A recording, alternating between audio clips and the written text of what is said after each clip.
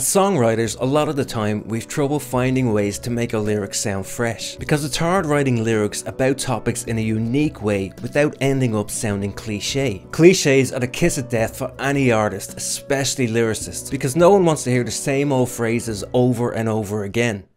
Or do they? If we had to write lyrics using only phrases like every cloud has a silver lining or it's like watching paint dry, we could expect our lyrics to sound pretty cliche. But Arctic Monkeys frontman Alex Turner is a bit of a master at turning cliche phrases into something a bit more unique and interesting. Both examples I just gave are what's known as idioms. An idiom is a phrase that doesn't mean what it seems to say. It's a figure of speech people use all the time. For example, the idiom over the moon, that's an expression of being happy, but it's nothing to do with your actual proximity to the moon.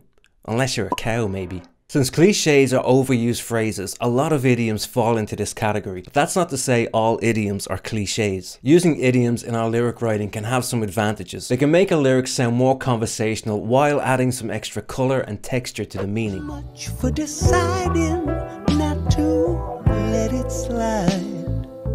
Watch while the paint job dries. But the trick is to avoid the cliche, and Alex Turner uses idioms in a more creative way.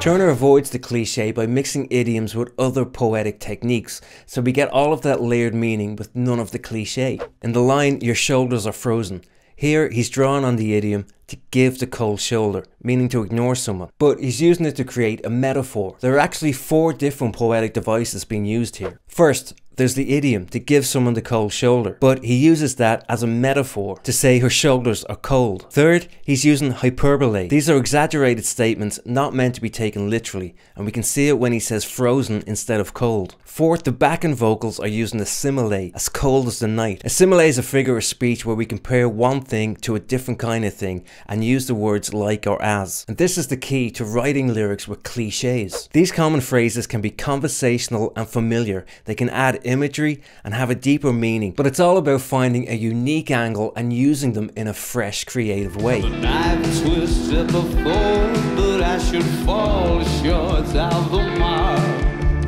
Frightened by the bite, though it's no harsher than the bark.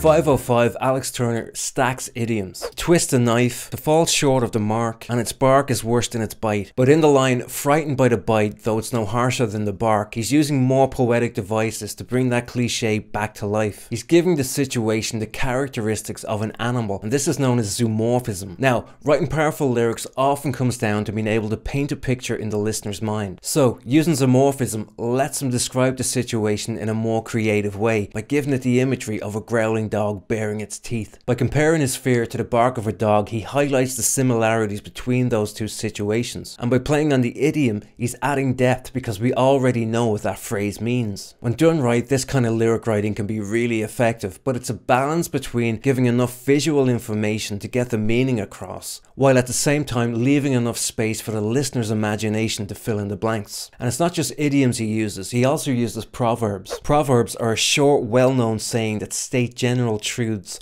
or pieces of advice, like all that glitters is not gold, or every cloud has a silver lining. Using proverbs in lyric writing is by no means a new thing, and it can be a great way to add meaning to a lyric without using overcomplicated language. But they're also an easy way to fall into the cliche trap. To write good lyrics, us songwriters need to be creative with the language we use, and that means finding new ways to say old things. In Are You Mine, Turner uses the proverb, every cloud has a silver lining. He's not only drawing on the meaning of the proverb, but again he's using other poetic techniques to avoid that cliche. Personification is when we give human qualities to things that are not human. By personifying the proverb, Turner's able to create a metaphor that expresses a lot of meaning in just a couple of words, turning a potentially cliche lyric into something more creative and interesting. Having a tool belt of these poetic devices can really help us level up our lyric writing, but as we've seen with Alex Turner, it's often how we use them that makes all the difference. So watch this video next for a really powerful way to apply these tools to your lyric writing.